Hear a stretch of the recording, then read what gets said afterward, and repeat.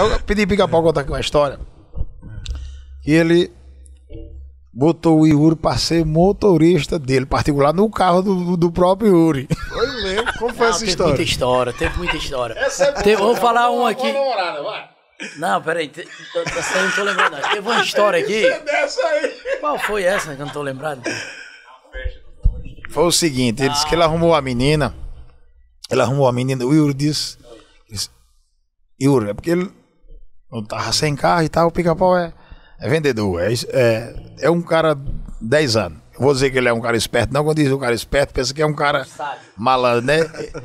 É um cara divertido. Aí ele morava com o Yuri, né? Aí o Yuri me contou essa história. Não, porque eu tenho que sair com a menina e eu não sei dirigir, nem eu tenho o carro e tal. E- Na Land Rover do, do Yuri, né? Aí ele disse, na hora, eu vou quebrar esse galho e tal. A menina entrou no carro e tal. E o Yuri na frente sozinho e ele, ele com a namorada lá atrás. Yuri disse que deu partida, aí fica para começar começou a dar ordem. Baixa o ar um pouquinho. Aí o Yuri lá dizia, ah, filho de uma égua. no carro. Ei, por favor, motorista, o som aí. e rodou, rodou.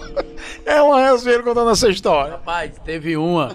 Eu morava aqui, aqui na. na, na- na não, aqui, aqui ao lado aqui da. da- dessa praça aqui da, da, da- da TV. É, pa- Padre. Padre aqui ao lado, eu morava aqui ao lado. Tá, morava eu e Yuri. Eu conheci uma bichinha e tal na época, né? A bichinha me ligou e tal. E aí? Aí me ligou aqui e tal. Aí o Yuri grita: Fica pau, traga a toalha! Aí a menina ouviu e disse assim. Quem é esse? Quem é tá gritando mandando tu levar a toalha? Rapaz, é um cara que mora comigo, o bicho é folgado, né, rapaz? Era o dono do apartamento, o Yuri.